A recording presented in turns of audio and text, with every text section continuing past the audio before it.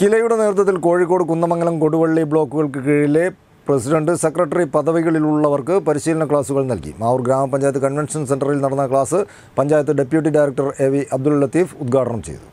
കിലയുടെ നേതൃത്വത്തിൽ കോഴിക്കോട് കുന്നമംഗലം കൊടുവള്ളി ബ്ലോക്കുകൾക്ക് കീഴിലെ president secretary പദവിയിലുള്ളവർക്കാണ് പരിശീലന ക്ലാസുകൾ നൽകിയത്. പതിനഞ്ചാം ധനകാര്യ കമ്മീഷന്റെ പദ്ധതി വിനിയോഗവുമായി ബന്ധപ്പെട്ട കാര്യങ്ങളിലാണ് ക്ലാസ് എടുത്തത്.